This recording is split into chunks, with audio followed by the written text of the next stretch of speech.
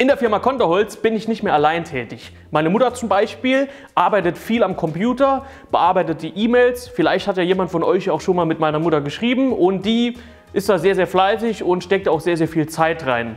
Jetzt habe ich extra was für sie bestellt, damit sie halt eben im Büro mehr Organisation hat, mehr Ordnung hat und halt eben auch mehr Spaß dann an ihrem Arbeitsplatz hat. Papierkram fällt natürlich immer jede Menge an, deswegen habe ich meine Mutter gefragt, hier, such da was aus, ich bestelle dir das auf Amazon, damit du mehr Organisation an deinem Arbeitsplatz halt eben halten kannst. Ich habe das Ganze danach bestellt, das Ganze ist angekommen, wir haben es aufgebaut und Edgy Badge, es war nicht gut, weil es ganz schön wackelig war, es hat nicht schön ausgesehen und deswegen habe ich es jetzt als meine Aufgabe gesehen, da etwas richtig Gutes als Lösung zu finden und darum soll es im heutigen Projekt gehen. Wenn du also auf der Suche nach etwas Inspiration für dein nächstes Projekt vielleicht bist und dich so ein bisschen berieseln lassen willst von einigen grünen alten Maschinen wie der zum Beispiel hier, dann bleib gerne am Video dran. Am Schluss werde ich auch natürlich zeigen, wofür das Ganze ist, was wir halt eben heute bauen werden. Und damit wir jetzt loslegen können, geht es natürlich erstmal mit Massivholz los, was wir jetzt herrichten müssen.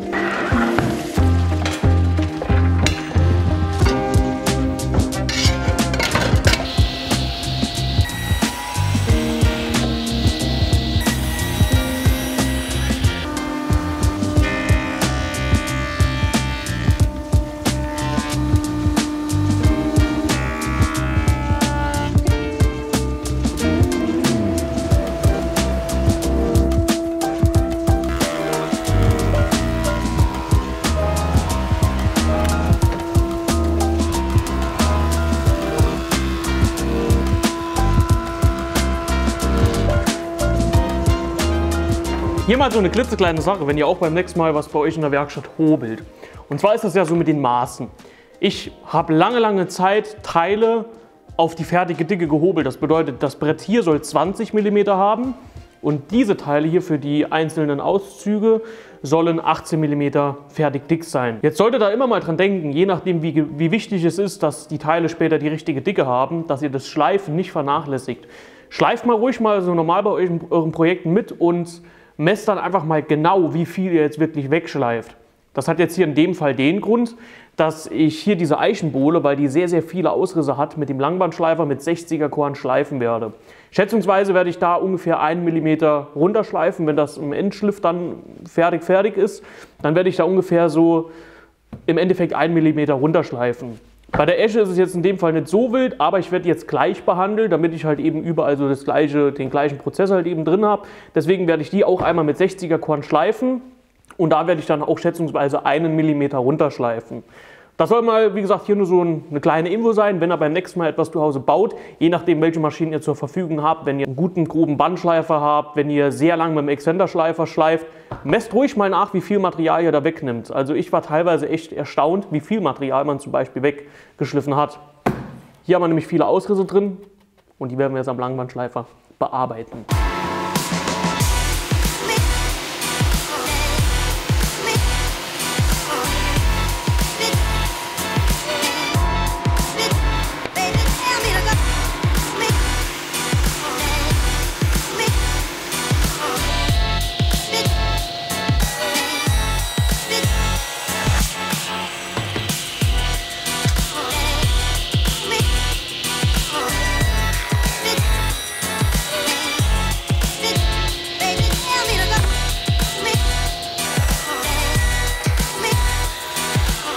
Hier hat sich gerade was verändert, denn ihr seht, dass hier jetzt ein paar mehr Eichenstreifen liegen. Liegt einfach nur daran, dass ich ein bisschen zu wenig Eichenmaterial vorbereitet habe.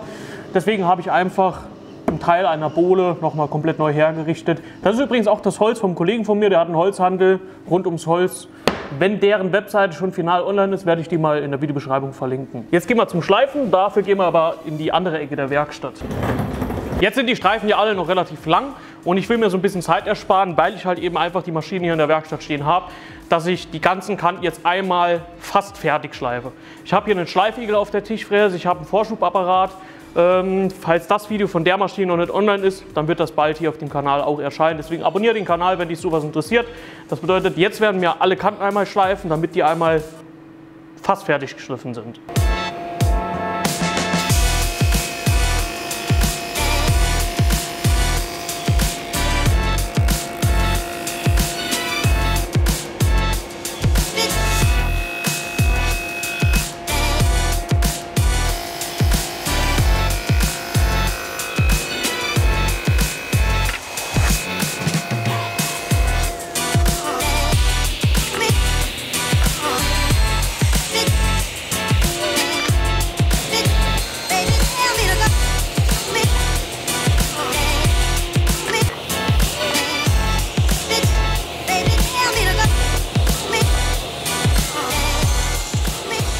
Den Teilen geht es jetzt zu dem wunderschönen Ruby-Frästisch, denn wir müssen das Ganze ein bisschen felzen. Warum Falz und nicht Nut?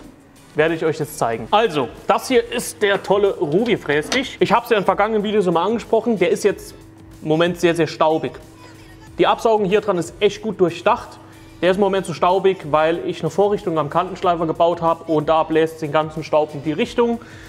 Das wird sich aber auch bald ändern. Aber für euch nur als Info, der ist nur so staubig, weil eine andere Maschine gut abgesaugt wird. Der Frästisch hier wird ziemlich gut abgesaugt. Wir werden das Ganze falzen, falzen, weil wir halt eben weniger Höhe hier dann halt eben brauchen. Würden wir hier eine Nut reinpacken und dann die 9 mm Multiplexplatte einlegen, dann müssten wir hier unten 6, 7 mm zum Boden weglassen. Das heißt, wir hätten ungefähr 15 mm von unten nach oben verloren und ich will halt eben nicht, dass dieses Projekt zu hoch wird. Deswegen eine Falz, einen Falz, weil das weniger Höhe braucht. Also, ich habe hier ein Werkzeug, mit dem wir ganz genau die Höhe einstellen können. Ich habe das früher falsch benutzt. Ich dachte, das wäre ein Höhenanreißer. Dem ist aber nicht der Fall. Das ist ein, äh, ein Messwerkzeug, um die Höhe halt eben anzugeben. So, wir wollen, dass das Ganze äh, 5 mm hoch wird. So, Deswegen kann man es jetzt hier einstellen. Der Tisch ist aus Aluminium, deswegen funktioniert es hier nicht ganz so gut. Wenn der aus Metall wäre, dann würde der hier fest stehen bleiben. Dann würde sich das hier hochbewegen. Aus dem Grund stelle ich den jetzt einmal auf 5 mm ein und werde einfach den Fräser nach oben bewegen, bis wir halt eben hier das berühren. Ich habe hier eine Feineinstellung, deswegen werde ich jetzt die Höhe grob einstellen und das Ganze fein nach oben bewegen. Jetzt sind wir auf unseren 5 mm und so einfach ist es halt eben. Jetzt noch unsere Anschläge nach vorne bringen. Wichtig, entsprechendes Absaugteil hinten reinpacken, damit wir die auch nutzen können. Jetzt können wir einfach eine Testfräsung machen und dann werde ich den Anschlag entsprechend beistellen, dass wir auch 5 mm bzw. 10 mm tief einfräsen.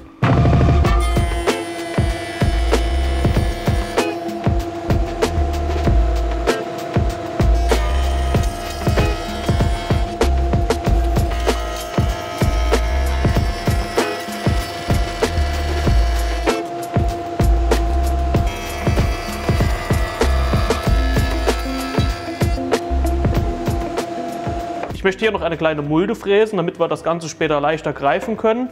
Und deswegen kann ich jetzt hier meine Anschläge, die sind direkt an der Maschine verbaut, die kann ich jetzt einstellen. Da fahre ich das Ganze einmal entsprechend an die Punkte. So, der rechte Anschlag passt jetzt soweit. Jetzt natürlich noch der linke Anschlag. Dadurch, dass man den Ruby-Frästich hier so einstellen kann, wie man es halt eben will, habe ich jetzt auch gleich die Anschlagbacken etwas nach oben gebracht, damit Späne, die jetzt gleich entstehen werden, eher hier unten drunter durchfliegen können, als dass sie sich hier halt eben festsetzen. So haben wir eine bessere Fräsung und so kommen wir auch dann gleich direkt mit unserem Holz direkt an den Anschlag richtig dran und dann funktioniert es einfach ein bisschen einfacher.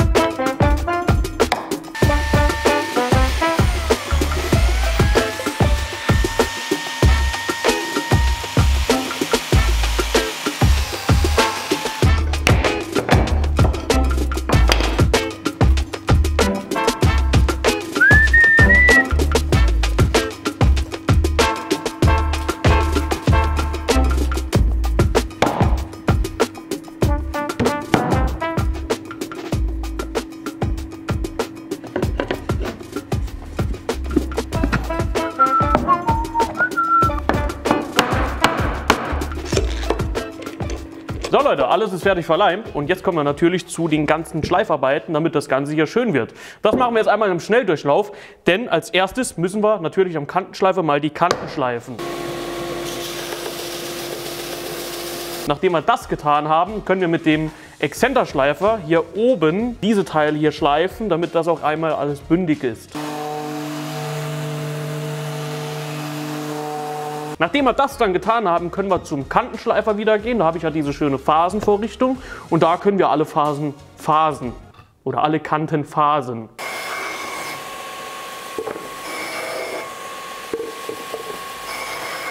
Wir haben natürlich noch eine Innenseite, die müssen wir auch noch ein bisschen bearbeiten. Da wir, dazu gehen wir zu dem Ruvi Frästisch und werden da mit dem Phasenfräser innen auch eine Faser anfräsen.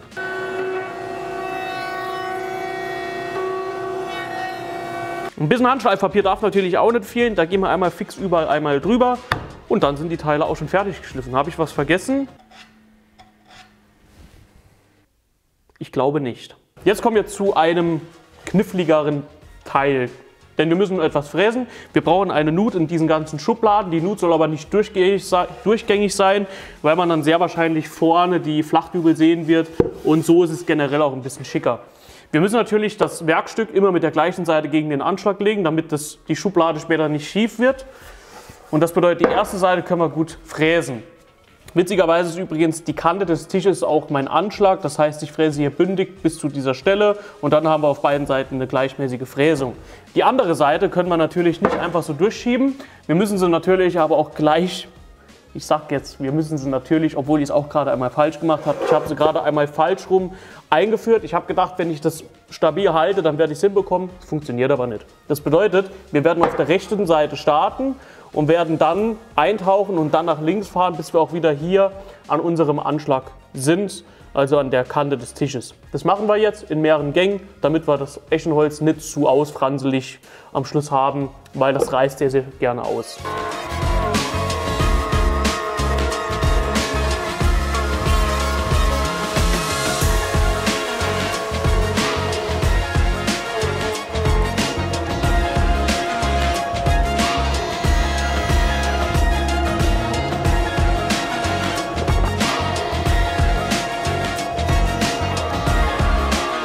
Und wie durch ein Wunder sind hinter der Kamera diese Leisten entstanden, die wir jetzt hier festschrauben können.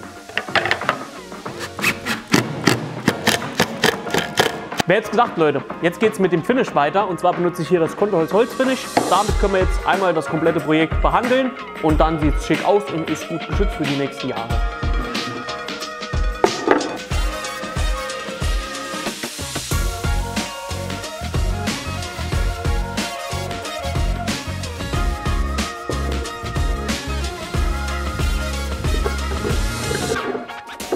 So Leute, das Projekt ist fertig. Sowas habe ich auf Amazon bestellt gehabt, aber das war von der Qualität her einfach super, super billig und haben wir auch wieder zurückgeschickt. Und ja, das ist jetzt so meine Lösung zu diesem Problem gewesen. Eine Aktenablage für meine Mutter im Büro, damit sie halt eben jetzt noch mal ein bisschen mehr Organisation halten kann. Und so ein Ding wollte sie haben. So ein Teil bekommt sie jetzt natürlich auch. Und ja, der Vorteil an dem Konterholz finde ich ist jetzt auch, dass die Schubladen jetzt ganz, ganz einfach gehen. Also wir haben einen Millimeter Spiel und das Ganze läuft wirklich perfekt. Und wir haben einen schönen Anschlag vorne, wir haben eine schöne Bündigkeit vorne. Ein tolles Projekt. Das soll es heute gewesen sein. Ciao.